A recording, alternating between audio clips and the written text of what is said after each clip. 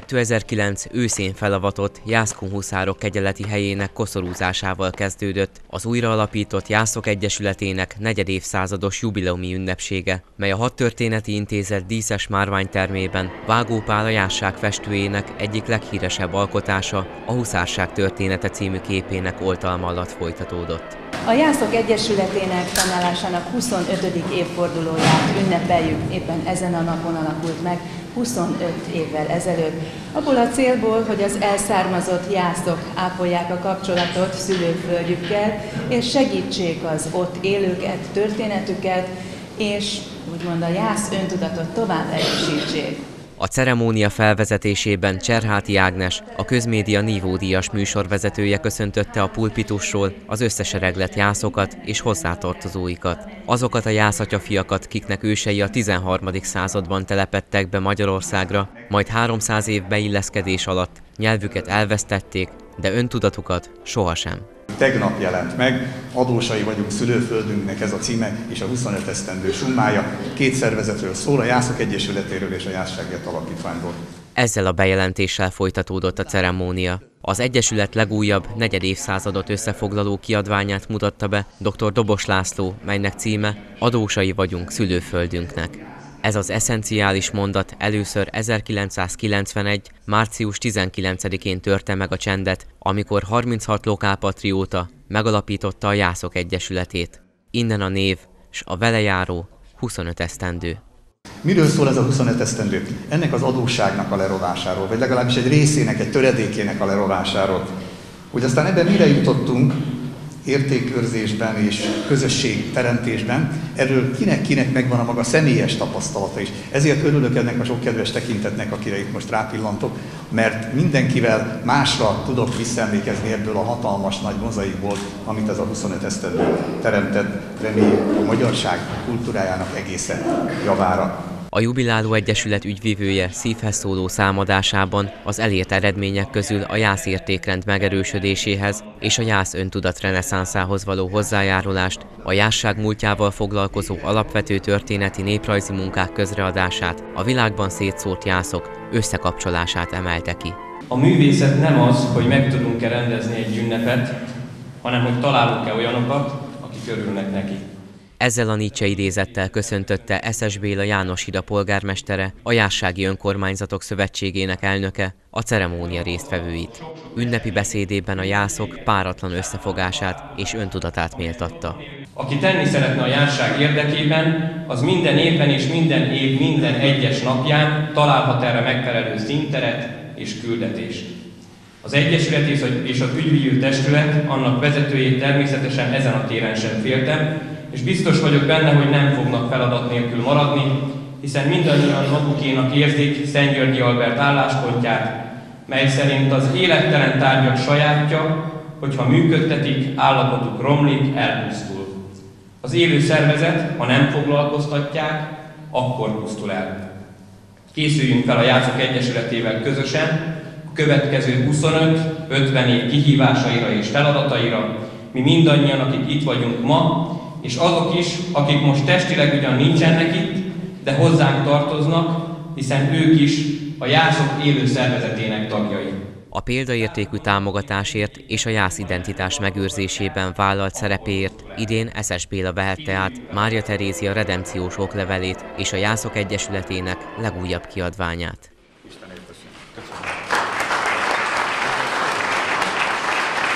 A Jászok történelem könyvének lapjai között Számos páratlan tehetséggel megáldott művész találhatunk. A 25. jubileumi ünnepségen egy ilyen fiatal talentum, Váradi László jászkísér szülötte kápráztatta el vendégeket virtuóz zongora játékával.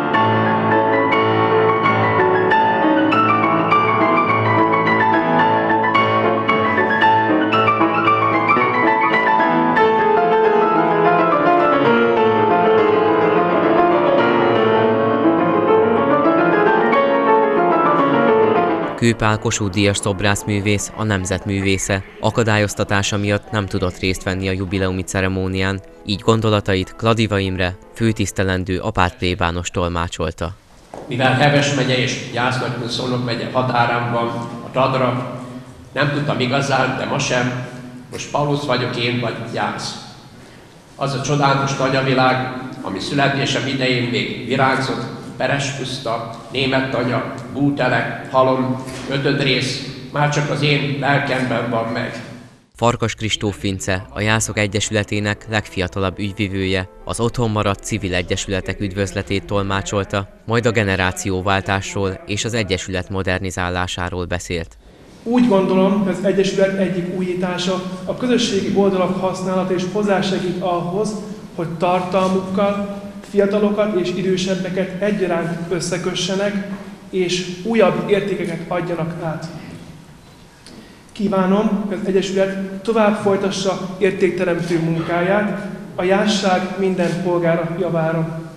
Bízom benne, hogy Egyesületünk megújulása tovább folytatódik, és még több fiatal tudunk megszólítani, amihez személy szerint én is megpróbálok hozzájárulni. A jubileumi ceremónia folytatásában dr. Dobos László elismerő oklevelet nyújtott át azoknak, akik az elmúlt öt, illetve tíz esztendőben az elszármazott és otthon maradt jászok kapcsolatának erősítését kiemelkedő módon szolgálták. Alkalmam volt huszárként az elmúlt 20-25 esztendőben bejárni nem csak Európát, hanem még a tengeren túlra is eljutni, és érdekes volt az, hogy számtalan uh, környezetbe csöppen, idegen környezetbe, ez csak kiderült, hogy jó néhány alkalommal a beszélgető partnereim jász gyökerekkel rendelkeztek. Valami különlegesen furcsa és megtisztelő érzés jásznak lenni, egy olyan közösség tagjává válni, és annak szerves részesévé vagy építőjévé válni, aki évszázadokra visszamenőleg meg tudja azt mutatni, hogy az ország katonai tartó pillére volt, hiszen a jászok a kardjukkal szolgáltak az uralkodónak, a fiaimnak mindig büszkén mutatom, hogy a családfa szerint 1679 óta az ézsiások jászfényszaron vannak, és felszoktam hozni példaképpen, hogy el lehet menni a világba erre-arra, de csak úgy, mint egykor a céhes legények, világot látni, hazahozni a tudást és a mesterséget, de itt maradni, erősíteni ezt a közösséget, hiszen azok az emberek, akik előttünk jártak, jászok, azok nálunk jóval nehezebb körülmények között is kénytelenek voltak helytállni, és nekem katonai hagyományőrzőként az egyik küldetésem úgy gondolom az, hogy példákat mutatni a mai világnak, a fiataloknak, hogy erőt tudjanak ebből meríteni. Nagyon sokat találkoztunk Dobos Lászlóval, minden rendezvényünkre meghívtam, támogatást is több alkalommal kértünk is, meg kaptunk is tőle, úgyhogy a szoros kapcsolatban voltam mindig a Jász Múzeummal is, Batoritkéjékkel, és a környező településeken lévő honismereti szakkörökkel is, sőt még a Kunszent Mártoni kocséri, akik Apátiról származtak el azokkal is. Úgyhogy nekem nagyon sokat segített a munkámban a Jász múzeum igazgatója is, meg Dobos László is sok mindenre felhívta a figyelmet, hogy én csak köszönettel tartozok nekik. A Jászok Egyesülete tulajdonképpen össztartozás szimbolizálja, ami úgy gondolom, hogy a Jászok életében nagyon-nagyon fontos, és az, hogy Egyesülethez lehet csatlakozni, és ott gyakorlatilag tagként tud az ember tevékenykedni, egy nagy-nagy erőt jelent, én úgy gondolom mindennapokban, hiszen fontos az, hogy az ember munkája során tudja, hogy hova tartozik, és erre kiválóan alkalmas a Jászok Egyesülete. Mivel én festő vagyok, festőművész és grafikus, ezért én egy más szempontból nézem, mint mondjuk egy politikus vagy egy közösséggel foglalkozó közösségvezető vagy kultúravezető. Habár a festészet is egy kultúra, mondhatjuk azt. Számomra azt jelenti, hogy a járságon keresztül és a jászfestőkön keresztül ismertem meg a művészetnek olyan szeleteit, amelyek a mai modern magyar művészetből teljességgel hiányoznak. Tehát a, a vidéki életképektől kezdve a karakterek, az emberi karakterek, a bizonyos helyeknek a megörökítése, ez mind-mind olyan jelenség, ami egy speciális jársági művészeti alkotásnak tekinthetők. Mint hallhattuk, mindenkinek mást-mást jelent jásznak lenni. Ki a festőművészet színpompás útján, ki a történelem könyvek búgyrain keresztül, de mindenki identitását megőrizve, erősíttel kötődik a jássághoz és a Jászok Egyesületének értékőrző negyedévszázados közösségéhez.